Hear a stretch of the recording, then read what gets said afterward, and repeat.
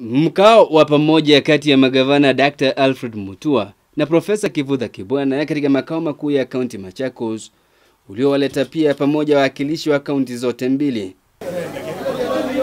lengo likiwa kwa sauti moja kuwashawishi wawakilishi wa wadi kupitisha mswada huo, wote wakisema hili limeafikiwa baada ya kuandaa vikao na wananchi.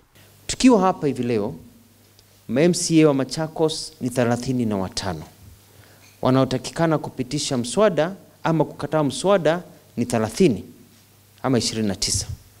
Kwa hivyo tayari walio hapa wakiamua kupitisha watapitisha, wakiamua kukataa watakataa. Kwa hivyo nguvu ya kupitisha katika bunge iko mikononi mwetu. Upande wa Makueni pia weko ishirini na watano ambapo uh, kupitisha wanahitaji ishirini na wawili ishirini na watatu.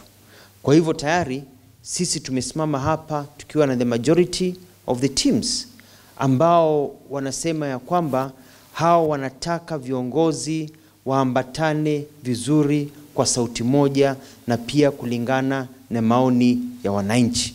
na kwa wameridhishwa kuwa kiwango cha pesa kinachopendekezwa kusambazwa kwa kaunti kitachangia katika kuleta maendeleo kama inavyopendekeza ripoti hiyo. Tumesikizana na pia tumeongea kwa muda mrefu sana. Walikuja wamejikakamua kabisa na hasira nyingi sana, lakini tumeweza kuongea tukasema ya kwamba lazima tufuate kile wananchi wanataka. Wananchi wanataka maendeleo, wanataka fedha zije katika kaunti zetu, wanataka maisha bora, vijana wapate kazi, barabara zijengwe na tuweze kusonga mbele katika uongozi.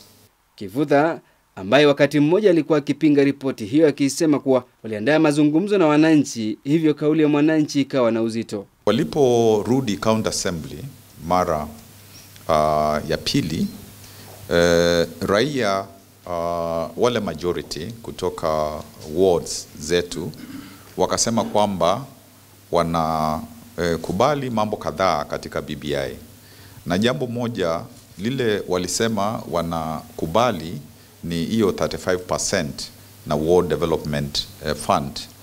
Wakasema kwamba katika kaunti yao Makueni wameona miujiza ya 15% ile imefanya katika maendeleo, na kwa hivyo wakasema kwamba 35% ikipatikana itakuwa kwamba maendeleo yatakuwa kama mara uh, mara mbili. Sisi hatutakubali uongozi ambao tumepewa na wananchi kuwapa watu kando ambao hawajapewa hiyo nguvu na wananchi ya kuongoza kaunti zetu na kuonyesha njia ya mifano katika mikakati yetu. Kwa muda mrefu watu wetu wamedanganywa sana katika hali umaskini na kutumiwa ili wachache waweze kujitafutia nguvu na kuja kujitafutia pesa. Sisi tumedanganywa kwa muda mrefu, kumekuwa na ukora wa muda mrefu wa pesa wa kutumia kabila, makabila yetu kuiba pesa na kujistawisha wenyewe. Tumesema hayo yameisha kabisa. Ukiwa umepitishwa katika zaidi ya kaunti 15 na kurambishwa vumbi katika kaunti ya Baringo, mswada wa BBI unatarajiwa kutoa fursa maridhawa kwa kura ya maamuzi iwapo utapita, vigezo vyote vikiwemo kuungwa mkono katika zaidi ya kaunti 24 pamoja na kupitishwa katika bunge la kitaifa. Caleb Ratemo, Undugu TV.